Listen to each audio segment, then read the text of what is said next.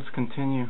Uh, so we have the neutral axis, and that's uh, at 294.2 millimeters above the uh, the base of the section.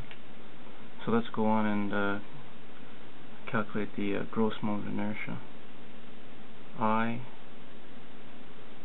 G, I sub G, is equal to the moment inertia above the neutral axis, which is this concrete rectangular portion.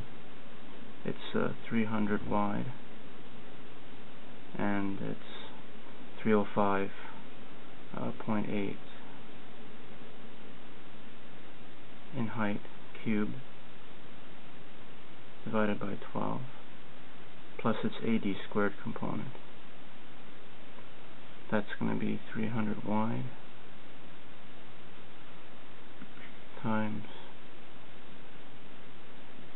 305.8 times the d d squared which is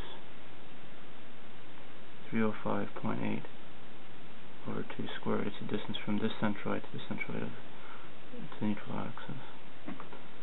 Then uh, we calculate inertias below the neutral axis, so we have the uh, the concrete uh, section tension is fully effective because it hasn't cracked yet. So we can take 300 wide times 294.2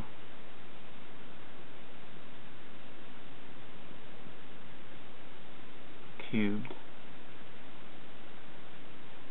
over 12 plus its corresponding uh, AD squared component. That would be 300 times 294.2 times 294.2 over 2 squared plus the AD squared component of the now transform the area of steel. So the area of the steel is 4266 millimeters squared times its distance uh, from the neutral axis to its centroid, which is uh, 550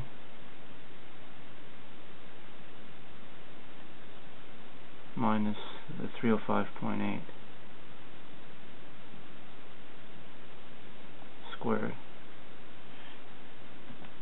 Okay, so let's uh, calculate it out. It's 300 times 305.8 cubed divided by 12 plus 300 times 305.8 times 305.8 over 2 squared plus 300 times 294.2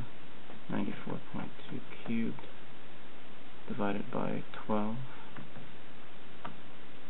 plus 300 times 294.2 times 294.2 times a half squared plus uh, the area of the uh, of the of the rebar transform 4266 times uh, 550 minus 305.8 squared.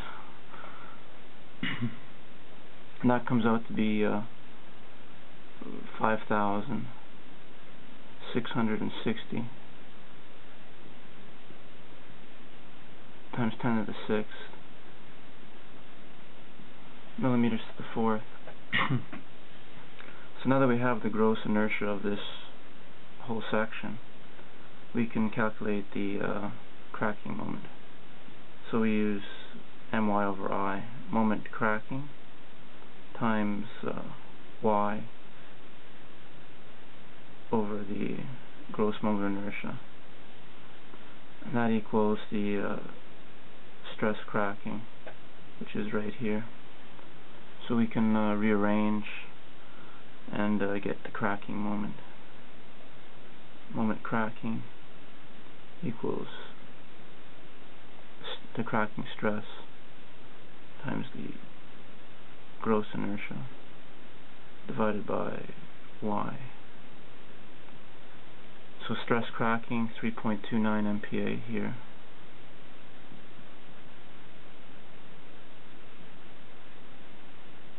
The gross inertia 5,660 times 10 to the 6 millimeters to the fourth over uh, y, and y will be the distance to from the neutral axis to where the uh, the stress is. So we're taking stresses at this point at the 3.28 MPa, 3.29 MPa uh, location. So that's going to be this distance here, which is this 294.2.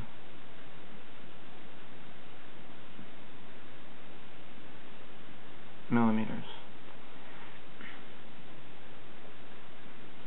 Cracking moment would be 3.29 MPa times 5,660 e to the 6 divided by 294.2. So that's going to be in Newton millimeters. MPa is newtons per millimeter squared. Millimeters to the fourth. that's Newton millimeters squared divided by millimeters, that's Newton millimeters. So let's uh, put into kilonewton meters divided by a thousand squared. so the cracking moment is uh, 63.29 kilonewton meters.